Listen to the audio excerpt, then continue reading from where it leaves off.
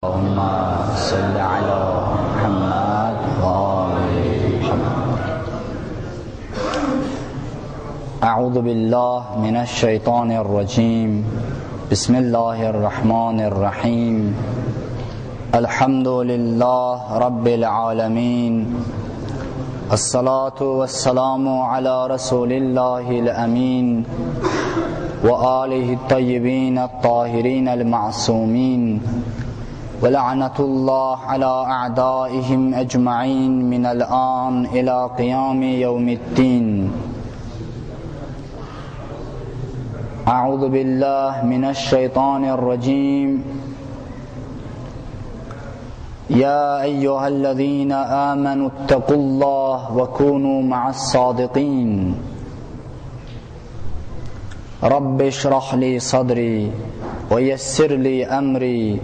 واحلل عقدة من لساني يفقه قولي صدق الله العلي العظيم Əziz və möhtərəm müminlər, biz keçən cümədə Allah Taalanın Həzrəti Musa Peyğəmbərə bir nəsihətini oxuduq və axırıncı nəsihəti bundan ibarət idi ki, Allah Taala buyurur ki, ey Musa, nə qədər ki görməmisən şeytan ölüb, onun məkrindən, hiləsindən arxayın olma. Və biz söz vermişdik ki, gələn cüməni, yəni bu cüməni şeytanın hilələri barəsində danışaq və mən elə başa düşürəm ki, inşallah bizim bu mövzumuz bəlkə bir cümə də davam etdi bundan sonra. Sual bundadır ki, əvvəlan biz gərək bir-iki müqəddimə deyək. Müqəddimələrdən biri bundan ibarətdir ki, Allah tala nə üçün şeytanı yaradıb? Nəyə görə Allah Taala şeytanı yaradıb və şeytan nəticədə insanları yolundan azdırır, Allahın yolundan çıxardır?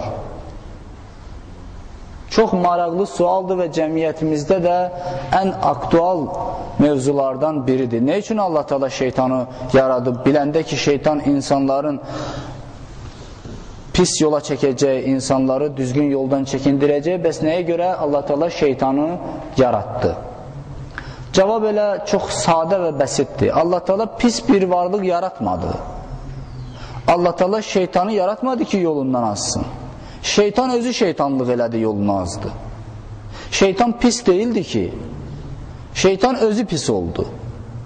Allah Taala gözəl bir varlıq yaratmışdı, iblis və o iblis Allaha ibadət eləyirdi o qədər ibadət eləmişdi ki, Allahın xoşuna gəlmişdi və Allah Taala onun mələklərin səviyyəsinə qaldırmışdı. Və hətta mələklər üçün piş namaz dururdu. Həzrəti Əli əleyhissalam buyurur ki, 6000 il şeytan Allaha ibadət eləyib, iblis Allaha ibadət eləyib. Pis varlıq değildi ki. Amma sonra yolunu azdı. Sonra yolunu azdı. Və gəldi şeytan oldu. Təkəbbürlük elədi Allahın əmrinin qarşısında. Adəmə həsəd bağladı, paxıllıq etdi. Adəmə səcdə eləmədi. Və nəticədə şeytan oldu. Nəticədə pis oldu. Özü özünü pis elədi. Allah təala pis bir iş yaratmayıb. Pis bir məxluq yaratmayıb. Onlar ki, pisdilər, pislik özlərindəndir. Sənə bir ağ köynək verirlər, gələ geyin. Ağ appaq köynəkdir. Sən bu köynəyi çirkləndirsən, köynəyin günahı deyil ki. Sən özün eləmirsən bunu. Sən imkan verirsən ki, bu köynək çirklənsin. Köynəyin özündə heç bir günah yoxdur. Allah Teala şeytana ixtiyar vermişdi. Ona seçim qüvvəsi vermişdi. Düzdür, mələklərə seçim qüvvəsi verməyib. Amma şeytana vermişdi, iblisə vermişdi. İblis də ixtiyar sahibi idi. İstəmədi Allah Adəmə səcdə eləsin, eləmədi. Üzrxahlıq əvəzinə daha da irəli getdi. Təkəbbürlük o səviyyəyə gəldi, çatdı ki, Allahın ədalətinə etiraz elədi.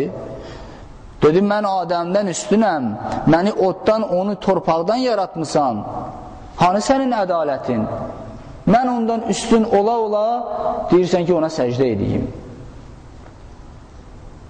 Allahın ədalətinə etiraz elədi. Hansı ki, bu müqayisə də səhv müqayisə idi ya. Torpaq oddan üstündür. İndi o qalsın öz yerində. Müqayisəsi də səhv idi. Bu səhv müqayisədən səhv nəticə çıxartdı, Allahın ədalətinə etiraz elədi. Allah Teala da onu öz dərgahından qovdu. Həmçinin şeytan olmasa biz, yəni bəşər pisliyi yaxşılığı ayıra bilməz. Yəni şeytan yoxdur, pis yol da yoxdur. İndi onun hikmətini mən demirəm ki, əgər şeytan olmasaydı Allah Taala hansı yollardan istifadə eləyərdi ki, insan seçim e, ixtiyarına malik olsun, onlarla işim yoxdur. İndi şeytan yolunu azdı, öz ibadətinin əcrini istədi Allah Taaladan, Allah da verdi. Dedi ki, mən istəyirəm insanların qəlbinə vəsvəsə eləyim və insanları yoldan azdırım. Allah tala da əcr olaraq onu verdi. Dedi ki, amma bu dünyada, ahirətdə sənin heç bir payın, əcrin olmayacaq. Əbədi olaraq cəhənnəmdə qalacaqsan. İndi oldu. Əgər şeytan olmasaydı, biz seçim ixtiyarına malik olmazdıq. Çünki yol yoxdur. Yalnız bir yol var, o da yaxşı yol. Onda yol seçə bilərdik? Yox. Məcburuq bu yolu gedək. Yolu gedək. Onda bilinməzdi kim yaxşı adamdır, kim pis adamdır. Kim Allah istəyən adamdır, kim istəməyən. Bir nəfər var idi, dedi ki, məsələn, sən yol gedirsən, birinə sual verir, sən yol gedirsən, qabaq dərədir, uçurumdur. Sol tərəf dənizdir, arxada da od yanır. Böyük bir od yanır. Bir sağ tərəf var. Hansı yolla gedərsən? Deyir, əlbəttə sağ tərəflə. Deyir, mənim bir ulağım var idi, o da onu eləmişdi. Sağ tərəflə getdi. Yəni, insan məcbur, məcburiyyət qarşısında yalnız gərək sağ tərəfə gedək də, başqa yol yoxdur ki. Ulaq da onu eləyir, insan da onu eləyir. Başqa yol yoxdur. Əgər şeytan olmasaydı pis yol olmazdı, pislik olmazdı. Onunla da yaxşı adamla pis adam bilinməzdi. Və kim cənnətə getməlidir, kim cəhənnəmə getməlidir bilinməzdi. Əlbəttə Allah Taalaya agahdır. Aydındır Allah Taalaya, amma Allah Taala hikmət üzündən iş görər. Biri cəza eləməmiş onu cəhənnəmə göndərməz ki. Biri mükafat eləməmiş onu cənnətə göndərməz ki. Yaxşı iş eləməmiş cənnətlə mükafatlandırmaz ki. Ona görə şeytanı Allah Teala yaradıb yaxşı bir varlıq kimi şeytan özü yoldan çıxdı və nəticədə öz əcrini istədi. Əcri də bu oldu ki, dedi, mən istəyirəm insanların qəlbinə vəsvəsə eləyim. Onu da Allah Teala verdi ona. Allah Teala buyurdu ki, amma sən mənim yaxşı bəndələrimə, mömin bəndələrimə, ixlaslı bəndələrimə yaxın düşə bilməzsən.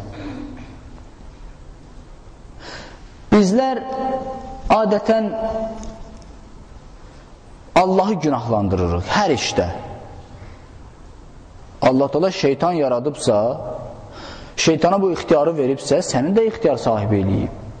Şeytan sənə nə inir ki? Gəlib sənin əlindən tutub aparmır ki, inşallah o barədə indi danışarıq. Sənə də ixtiyar sahibi verib, ağıl verib, həmçinin bir mələk müvəkkil eləyir ki, o da sənin qulağına pıçıldayır ki, yaxşı iş gör. Sənə vicdan verib, sənə də hər ixtiyarı verib. Amma biz Allahı günahlandırırıq. Hər işdə Allahı günahlandırırıq. Soyuq havadır. Soyuq havada əgər tədbir görməsən, soyuq deyər sənə. Xəstələnərsən. Xəstələnməmək üçün gərək yaxşı geyinəsən, qalın paltar geyinəsən, çıxasan bayra. Onda soyuqdan qorunarsan. Şeytan varsa, ondan qorunmaq üçün vasitələr də var. Sən paltar geyin. Şeytandan qorunmaq üçün də paltarlar var. Və libasu təqva zalikə xeyr. Təqva libası. Şeytan üçün qorum şeytandan qorunmaq üçün ən birinci vasitə təqva, iman, yəqin.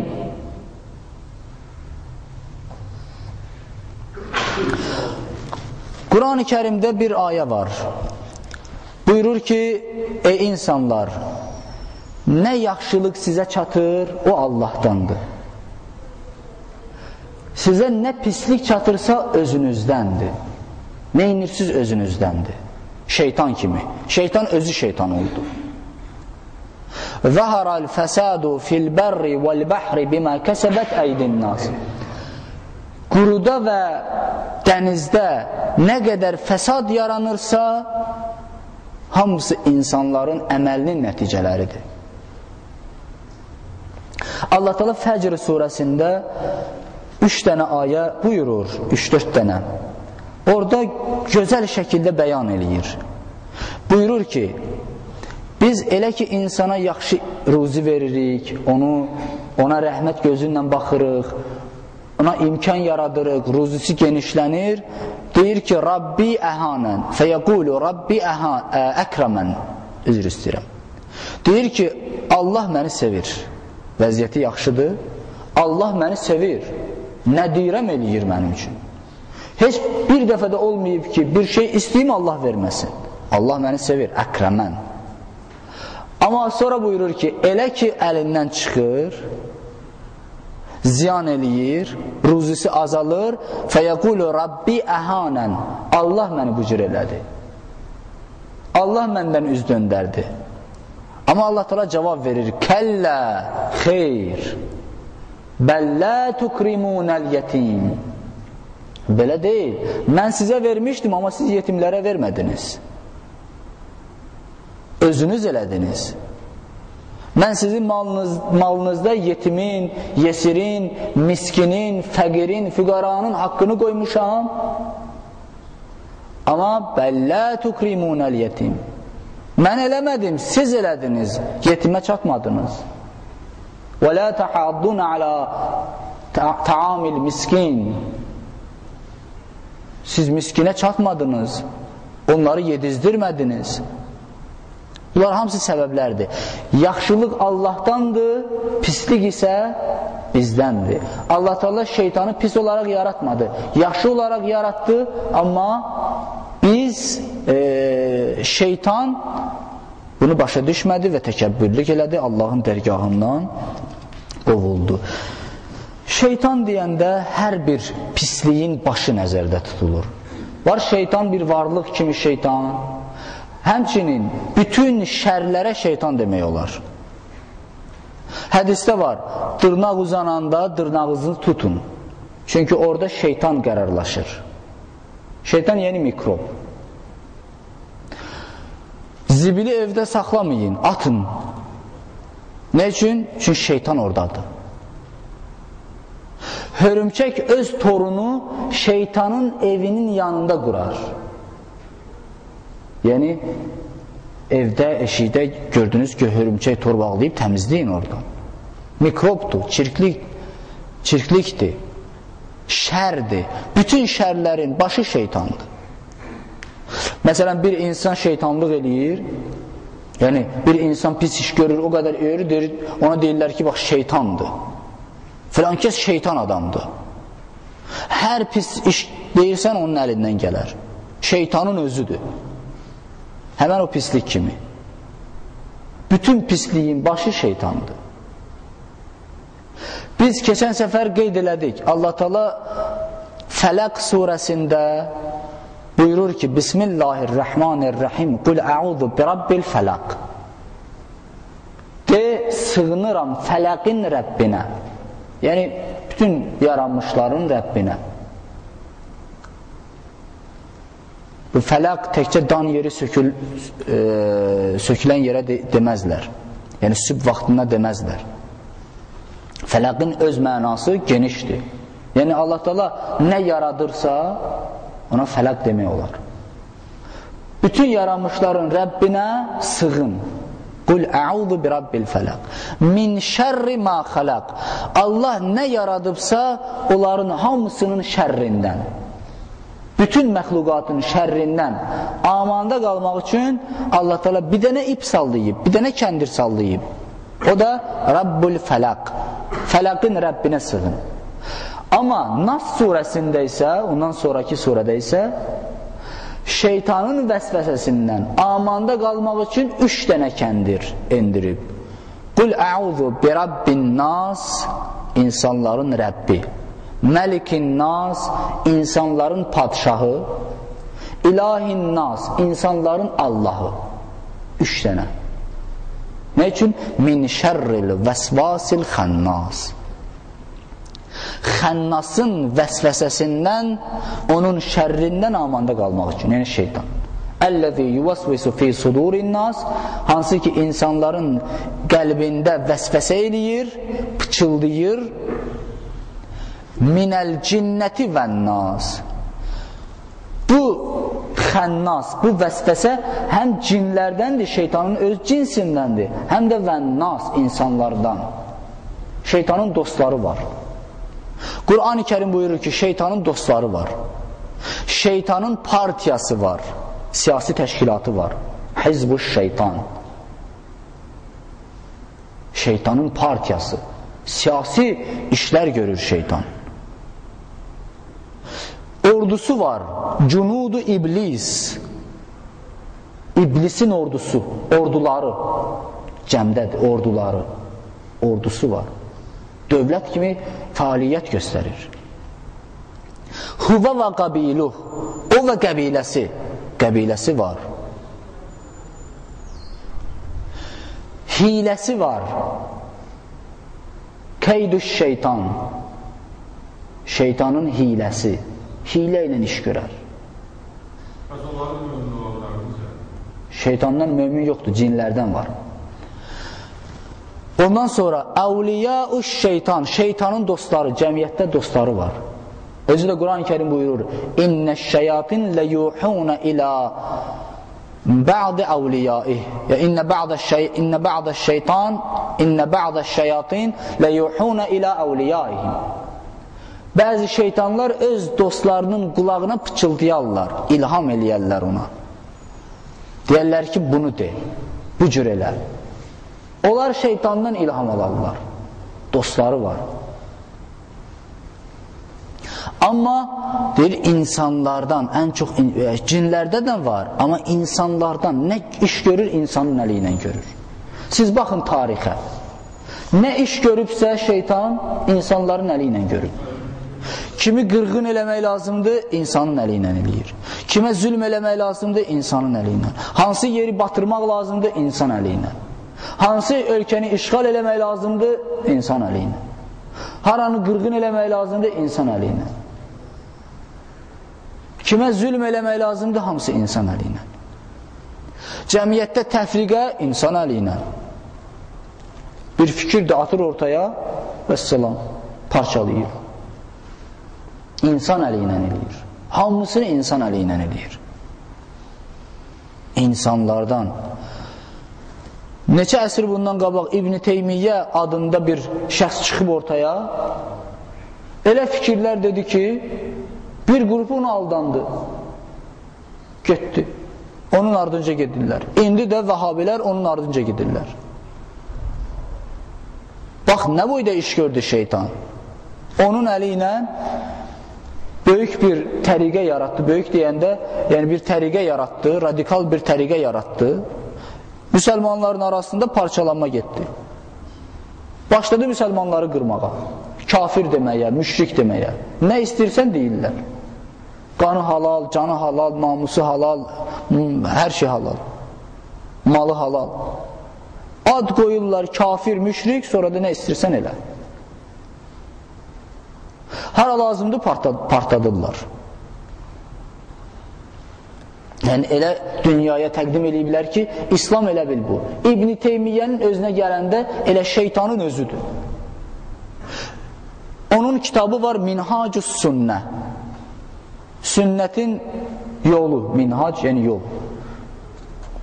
O kitabda o qədər yalan deyib, o qədər şiələrə iftira yağıb, o qədər iftira yağıb, onu heç bir kitabda tapa bilməzsən. Heç bir şiə cəmiyyətində tapa bilməzsən. O günləri eşitdik ki, alim danışır. Onun yalanlarından biri də budur ki, deyir, şiələr deyirlər ki, Həsən və Hüseyin Səlmanın evladlarıdır. Bu qədər yalan olmaz. Yalanı elə de ki, o yalan həmişə haqla qarışıq olanda insanlar qəbul edir. Amma da bu boyda yalanı insanlar qəbul eləməz ki. Bir, iki nəfər yığışdılar, dedilər ki, gəlin yalan deyək, baxın kim elə yalan deyir. Deyirək, yox, heç demirəm. Deyir, sən Allah gəl yalan deyək. Başlayırlar yalan deməyə, biri başlayır, deyir, mənim atamın bir tövləsi var idi. O tövlə o qədər uzun idi ki, o qədər uzun idi ki, onun içində at, məsələn, 9 ay hamilə qalırdı. 9 ay əgər getsəydi o başa çatmazdı və yolda balalayardı, hələ o başa çatmazdı. Deyir, sən Allah deyir, hə. Deyir, sənin atanın o boyda tövləsi var idi, deyir, hə, o boyda tövləsi var idi.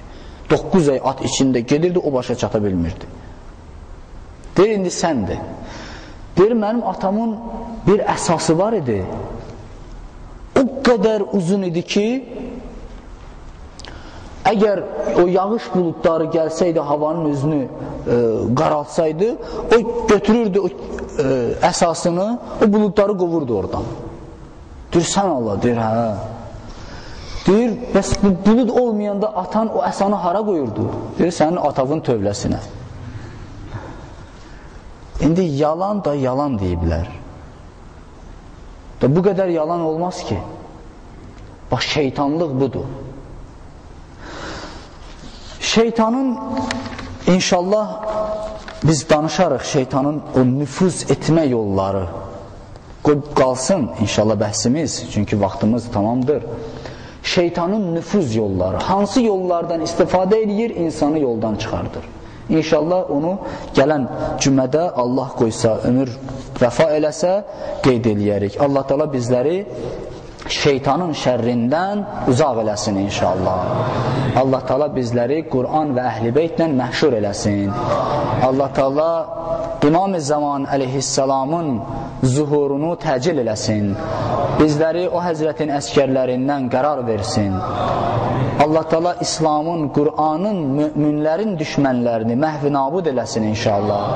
Allah Taala ta qiyamətə qədər bizi, övladlarımızı, nəsl nəcabətimizi şeytanın şərrindən uzaq eləsin.